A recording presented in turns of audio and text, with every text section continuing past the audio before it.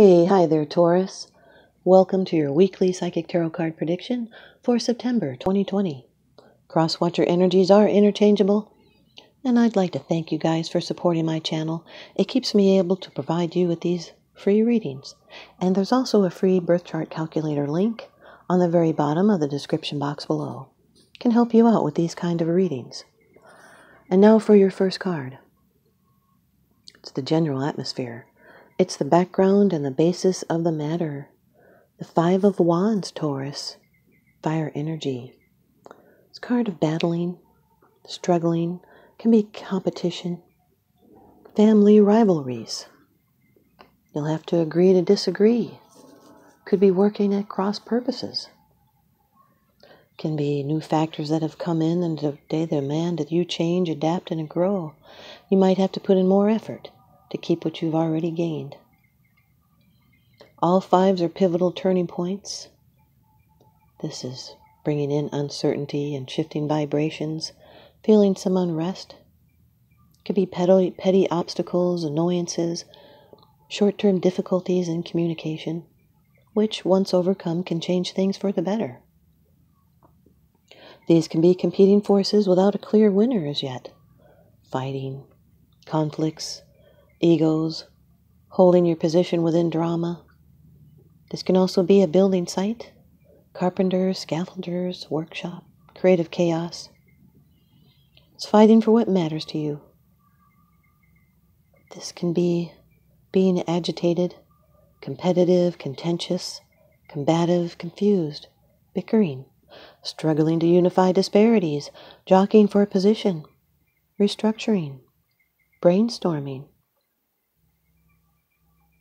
this are problems to solve and conflicts and arguments, can be clashing of personalities, or just differences of opinion. It's these differences that should be examined. It is from them that new ideas and interesting compromises emerge. Your second card, and this is the energy that's crossing over your path. These are your subconscious influences. This is really good, Taurus. Number 17 of the Major Arcana in the Rider Waite deck, the Star. This can represent an Aquarius. Aquarius can be in your chart or someone else's that you're dealing with.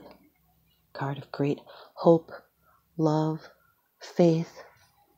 It's inspiration, good health, insight. It's the peace and the confidence that comes after the explosion of the tower. It's renewal and faith renewed. It's nurturing a dream. It's a realization of dreams and goals that are now possible. It brings in mental stability, major growth, and development. Blessings are flowing freely like water, carries bright promises, and it's a good time to begin a new project or a relationship as it carries blessings with it. It's being at the right place at the right time, having a relaxed and calm and eager but frame of mind. This is calm confidence that carries us through all situations. It's being replenished, hopeful, peaceful, cooperative, charitable, and devoted, feeling inspired and self accepting, nurturing, and, and appreciative. The Five of Wands with the Star card is a karmic lesson. Its problems or differences resolved it's focus on peace and harmony and not throwing egos around.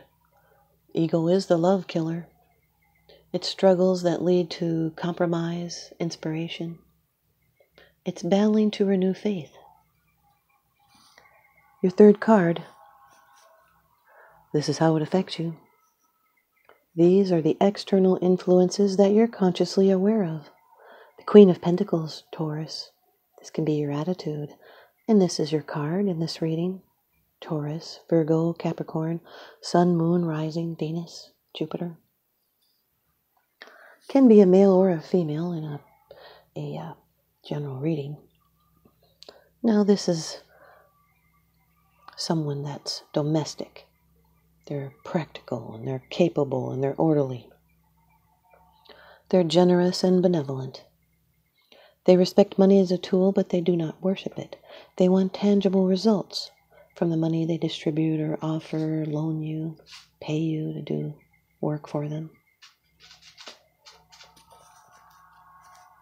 This is harvest after much labor and prudent uses of resources.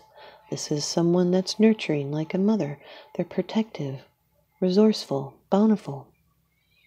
They're fertile. They're a homemaker, housekeeper. They love gardens and growing things. This is someone that's affectionate and caring, and they love nature and animals, and they know how to manage money. This can also indicate help given of a practical nature it has to do with material concerns. And this person teaches that what is cherished must be cared for. Just someone that puts a high value on stability. And maybe they don't always show or say how they feel. The Five of Wands with the Queen of Pentacles is choosing, choosing which battles to focus on. Your fourth card, it's the position of the future. It's the outcome the results and the advice. Number seven of the major arcana, the chariot. This can represent a Cancer, Sun, Moon, Rising, Venus, Jupiter. Cancer could be in your chart or someone else's. Now, this is the a card of control, triumph and victory, its success, and control over the forces of nature as well as triumph over ill health, money difficulties, or enemies of any sort, including your own lower animal passions. It's a clear sense of purpose. It can also indicate your car or travel and comfort. It's putting commitment to the test and spearing a middle course through opposing feelings and thoughts and desires. It's control and momentum with willpower and determination, and victory is assured. It's conquest of mind over emotions it's having a confident personality. It's a fight for self assertion. It's action and determination and overcoming obstacles. It's the clearing of the path of victory in your desires, and it's swift action and reach near goals. It's a positive and quick result on the way, and mastery over opposing forces. It's going with the flow and using firm resolve, and staying on the course you've set for yourself. Can also mean assistance is on the way and it's creating a firm foundation on which to pursue your desires with a clear sense of purpose. These are soul tests and advancements. The Five of Wands with the Chariot card is maintain focus. Do not get distracted. Then you'll be able to stand out and make an impression. Hold your own to reach your goal and stay focused and expect some confusion or struggle. Your fifth card. It's the bottom of the deck card. The underlying issue. This is what's unseen. It's unseen, it's because it's something that you're not sharing with others, yet you are consciously aware of this. The Ten of Cups, Taurus. Water energy. Now, this is a card of Mars and Pisces. Shared love, happy family, contentment. It's the best relationship you've ever experienced. It's because it's inspired from above. It's true love, and it's better than you expected. And you'll be embarking on something that makes life worth living and find that your family life is a source of joy. Shared love and blessings and peace and family, a grateful and joyous family. It's having enough happiness to share with those around you. It's happiness from fam- the knowing that your family loves each other and a realization of what matters and counting your blessings. It's feeling the bliss, loving unconditionally, appreciating abundance, living your dreams. But there is a shadow to this card. It's not the reverse meaning, it's just the shadow to the upright meaning. It's expecting the bliss to last forever because it's like a fairy tale experience, and only masters can achieve this long term by a trained mind. The Five of Wands with the Ten of Cups is family conflicts. Look for common ground. It can be a lack of harmony and trying to unify focus.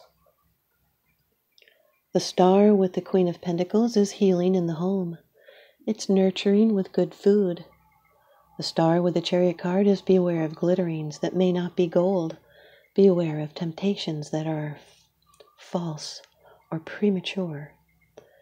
It could be giving up because of a false sense of confidence. It represents a spiritual effort. This is a choice to make to get you to your dreams. The star with the Ten of Cups is hope for a family situation. It's harmonious family relations, peace, and happiness. The Queen of Pentacles with the Chariot card is taking charge, being in control of finances. The Queen of Pentacles with the Ten of Cups is everyone benefits from a nurturing woman. Chariot with the Ten of Cups is the practice of self control that leads to happiness, contentment. This is a major victory that's imminent. Loosen up and do not worry if things are not moving as fast as you, as you like. Here's your card from the deck, vice versa. Tarot cards by Lunaea Weatherstone. You've got the Two of Pentacles, Taurus, Earth energy. This is Jupiter in Capricorn. Earth energy, the Two of Pentacles. This side, a young jester dances on a pleasant seaside walkway. The two golden pentacles he juggles are energetically linked by a glowing loop in the shape of an infinity symbol. The ocean at his back is calm under a soft blue sky. A ship in, in full sail glides past the scene.